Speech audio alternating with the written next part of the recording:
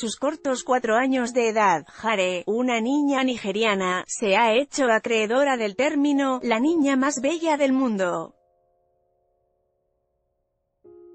Esto tras ser retratada por la fotógrafa Mofeba Muyiwa. Lea también, ella es la actual niña más bella del mundo. Bamuyiwa ha hecho famosa a Hare, gracias a su belleza. La ahora niña más bella del mundo, fue retratada por la fotógrafa, quien publicó las imágenes en Instagram.